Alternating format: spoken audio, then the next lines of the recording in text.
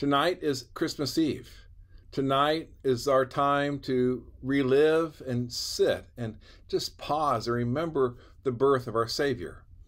A part of our service tonight will be communion.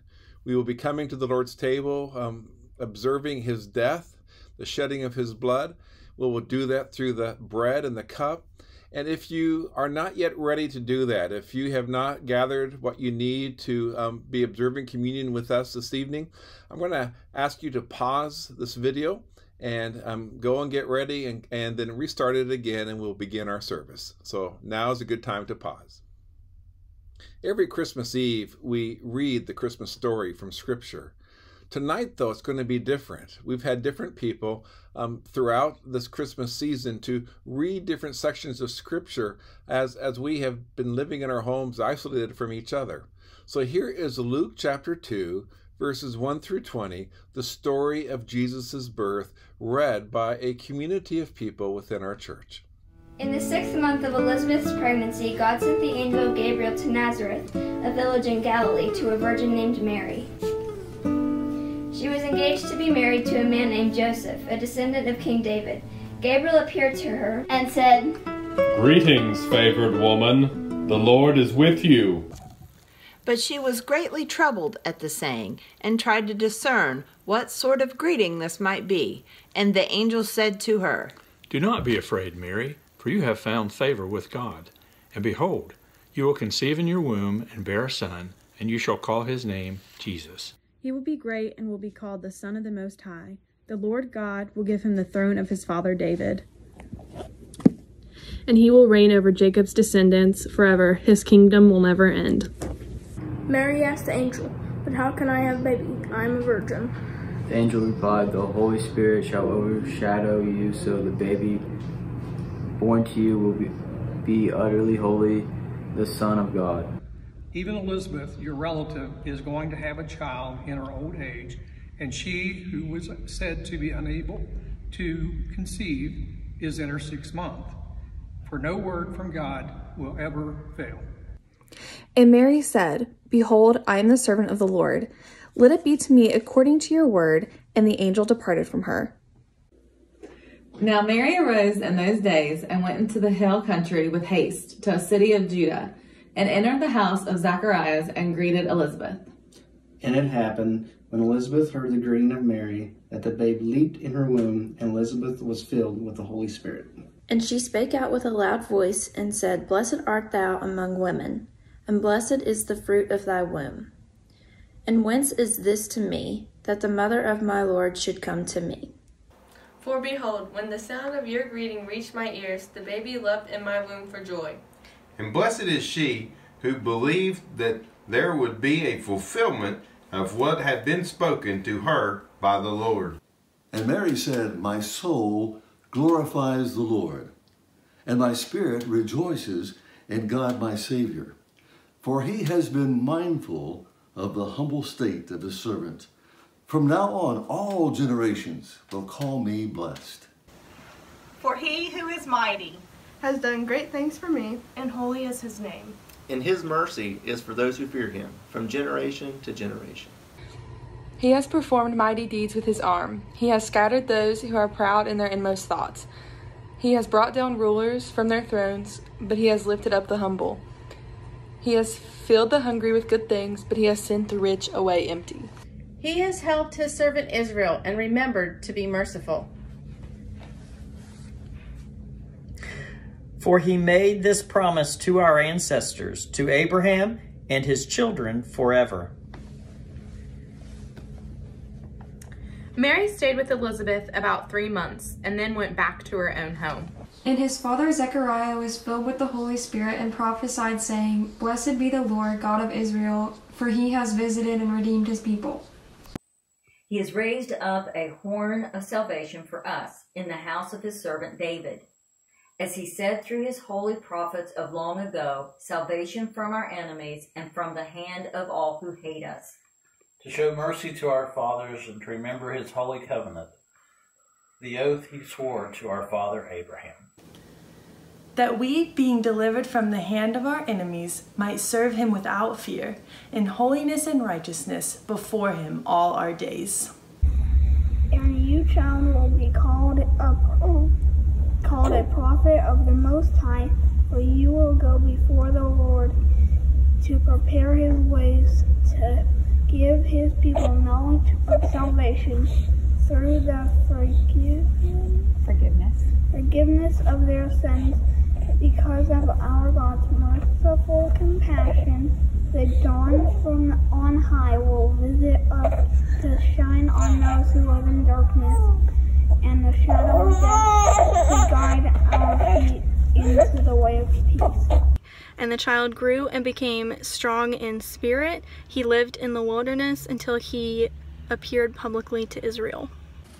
In those days, a decree went out from Caesar Augustus that all the world should be registered.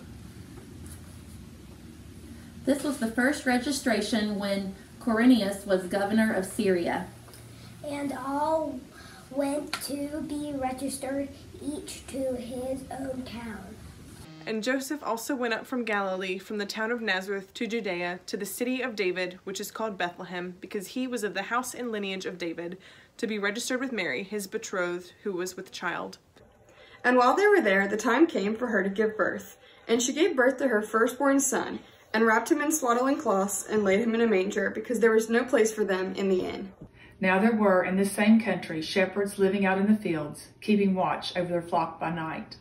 And behold, an angel of the Lord stood before them, and the glory of the Lord shone around them, and they were greatly afraid. But the angel said to them, Do not be afraid. I bring you good news of great joy that will be for all the people. Today, in the town of David, a Savior has been born to you. He is Christ the Lord. This will be a sign to you. You will find a baby wrapped in cloths and lying in a manger. And suddenly there was with the angel a multitude of the heavenly host praising God and saying, Glory to God in the highest, and on earth peace among those with whom he is pleased. When the angels went away from them into heaven, the shepherds said to one another, Let us go over to Bethlehem and see this thing that has happened, which the Lord has made known to us. And they went with haste and found Mary and Joseph and the baby lying in a manger. When they had seen him, they spread the word concerning what had been told them about this child, and all who heard it were amazed at what the shepherds said to them. Gracious Father, we begin this evening crying out to you. We long for you, we love you, we are grateful for you. Father, fill our hearts with your presence. Be with those who are in their homes tonight. Be with those who are suffering, Father, who are sick, who are in quarantine. Father, may tonight be a night of healing, both physically and spiritually, Father. We give you great praise. Amen. I have a bit of a trick Christmas trivia question for you. What were the shepherds commanded to do? They were commanded to do two things. And um, one of those commands um, was not um, to go and visit the Christ child. We may think that it was, but they made that decision on their own. That was a great decision. What were they commanded to do? Well, there are two commands. The first one was by the angel, don't be afraid. If you remember when the angel appeared, they were, appeared, they were terrorized by great fear. So command one, don't be afraid. And then the second command follows right after it.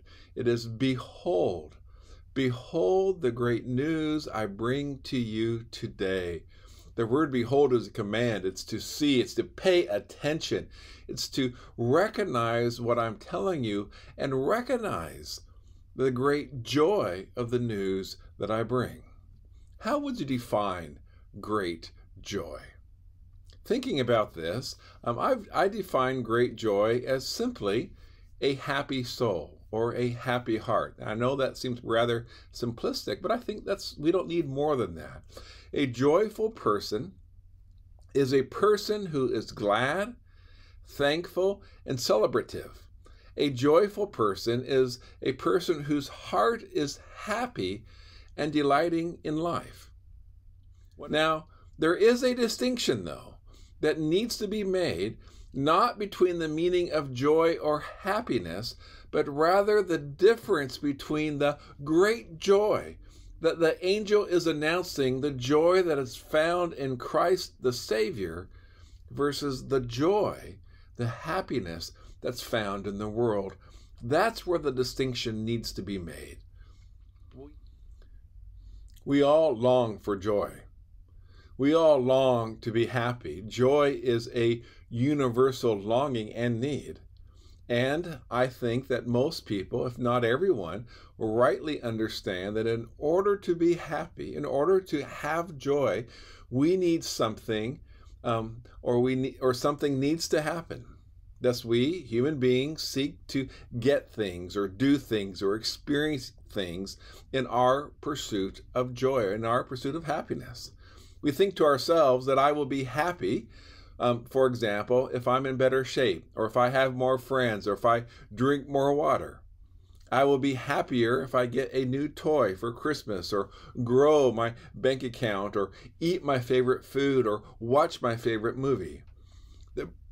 The, pursuit of happiness is what drives us. And when we pursue happiness or joy in the things of the world, yes, we do find some measure of it. It's true. I am more happy when I'm taking care of myself physically. I experience joy when I receive a present. I enjoy eating food. I really enjoy eating pizza and ice cream.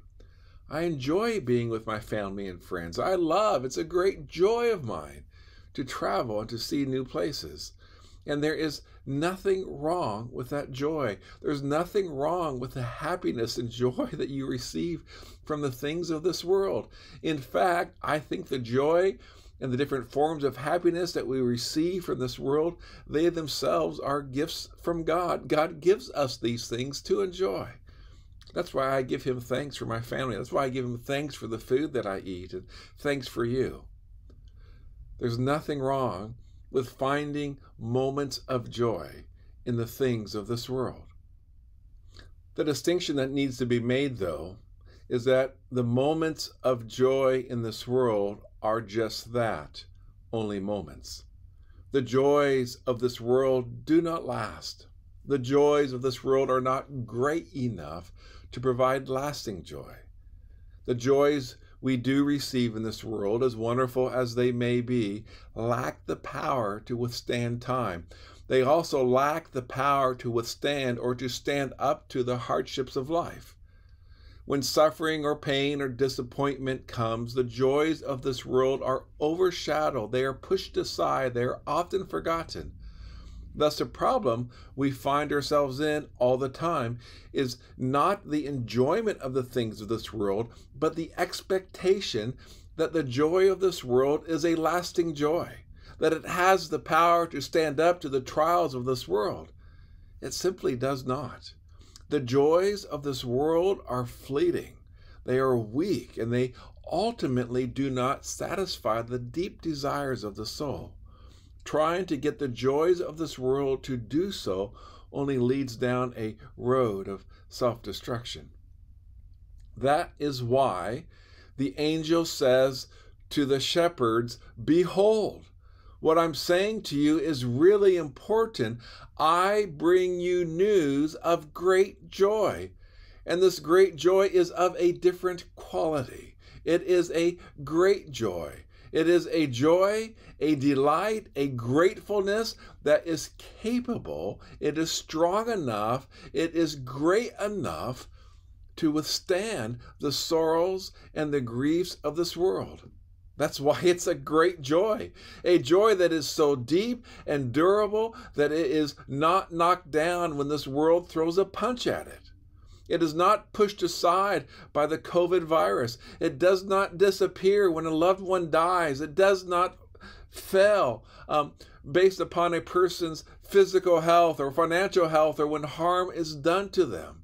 This great joy is so powerful that it overlaps and it overwhelms sorrow and suffering and loss. It is a joy so great that we read in Scripture that it gave to Jesus the endurance of the cross. Hebrews 12 2. It, it's for the joy set before him, he endured the cross. And Jesus says in John 15, chapter 11, that this joy of his, he gives it to you. He gives it to you in its fullness.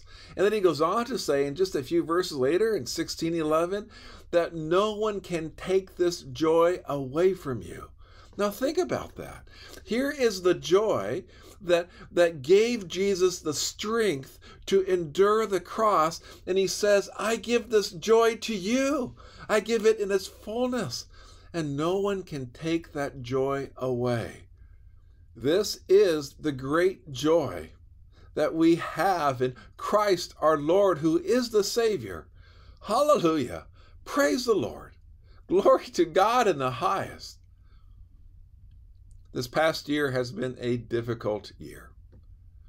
We have suffered a pandemic.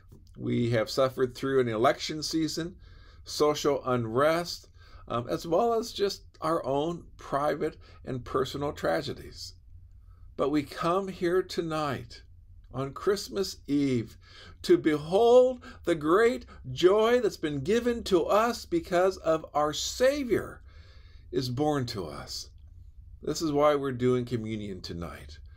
The bread that is broken and the cup that we drink from are those signs that point to our Savior and His salvation for us, which is the source of our great joy.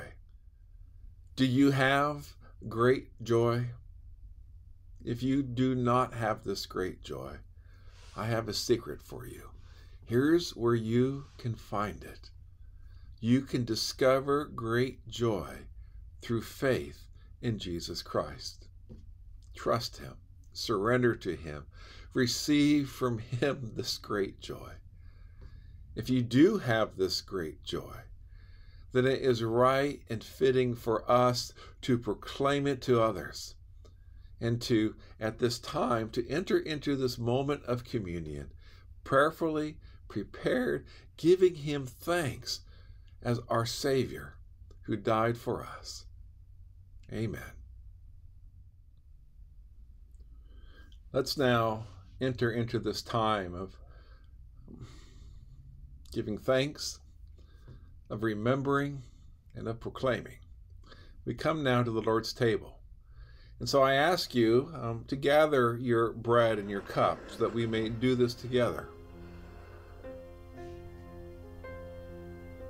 We are told in Scripture that on the night that Jesus was betrayed, during that meal with his disciples, he took the bread and he broke it.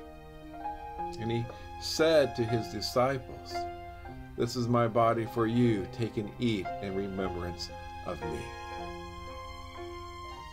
Let's eat together.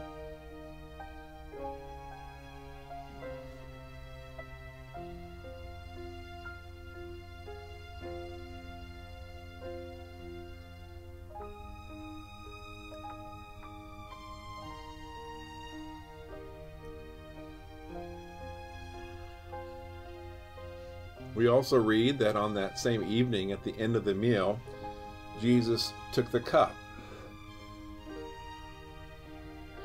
And Jesus said, This cup is the new covenant for the, by the shedding of his blood for the forgiveness of sins. And he said, As often as you eat this bread and drink this cup, you proclaim his death until he comes again. And I want to just highlight that word covenant. It means that we are in relationship with Jesus. He has brought us into a fellowship with Him. And when we are in fellowship with Him, we are in fellowship with the Father. So let's give thanks and praise our Lord for what He has done for us. Let's drink together.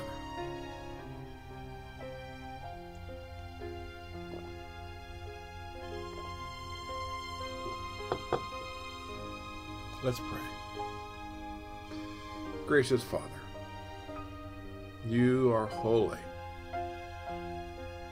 And tonight we behold your joy that you give to us through our Savior, our Lord, Christ. And Father, as we pray um, right now, I ask your Spirit to move in the hearts of these people.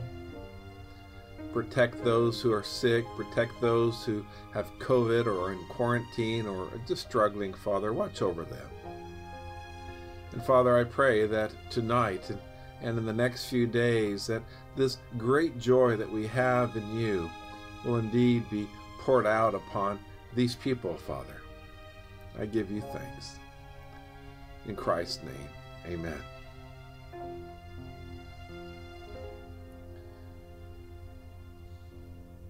Harper Haney um, is going to sing the song called Messiah. We're told in Scripture that after the meal, the disciples went out and song.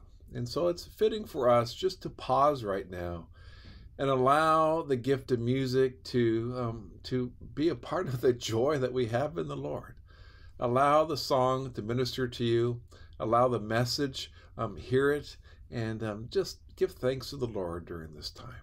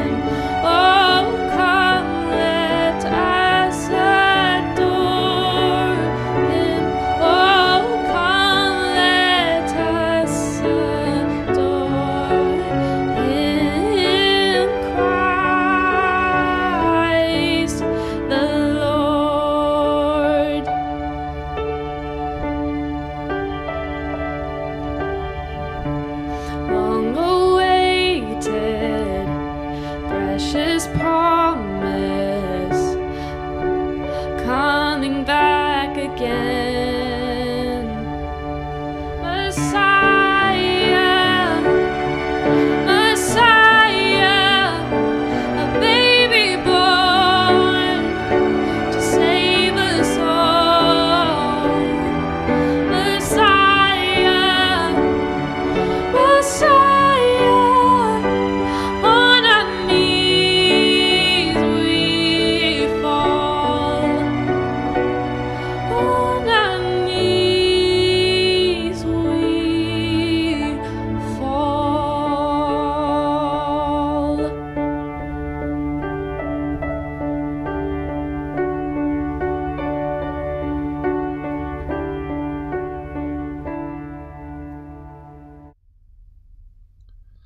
For joining me tonight. Thank you for choosing to celebrate the birth of our Messiah. Thank you for proclaiming Him through participating in the bread and the cup. Thank you for longing for Him and experiencing that great joy that He gives to us. I ask that the Lord will bless you, that He will protect you, that His face will shine upon you and give you peace. Tonight we're going to close out with Meyer Leidick um, close, singing a song about Jesus as the light of the world. He is the light of our lives. And allow this song to minister to you. Um, it's the end of our service, and, and um, I look forward to seeing you soon, I hope, someday. Merry Christmas. May the Lord be with you.